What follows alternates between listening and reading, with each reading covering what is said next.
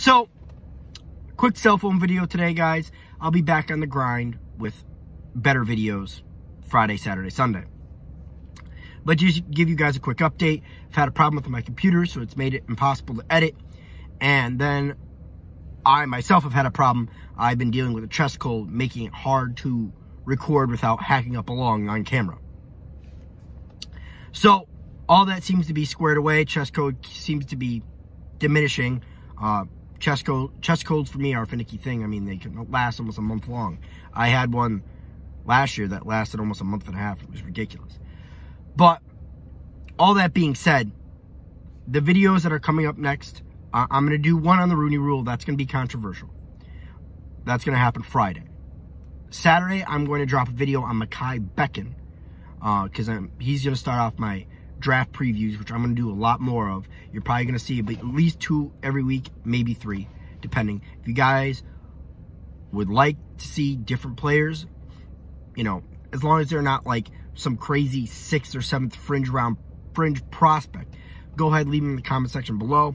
I'll take your suggestions on who you'd like to see next after Mekhi Becton. All that being said, I just want to do a fun video today. Who do you think is the face of the Giants franchise? For me, it's Saquon Barkley.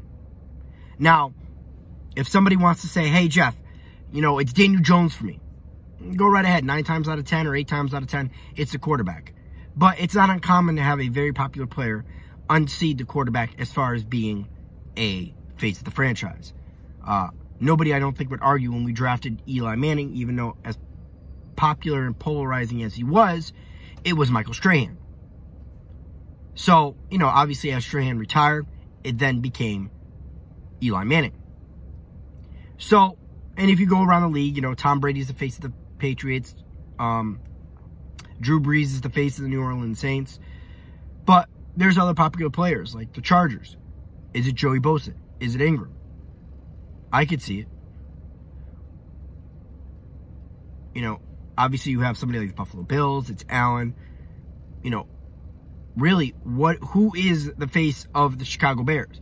Would some argue Mitch Trubisky? I don't know. Could it be Trevathan or any one of those? Or, or Khalil Mack could be the face of the Chicago Bears. So it's not always the quarterback. Nine times out of ten it is, but it's not always.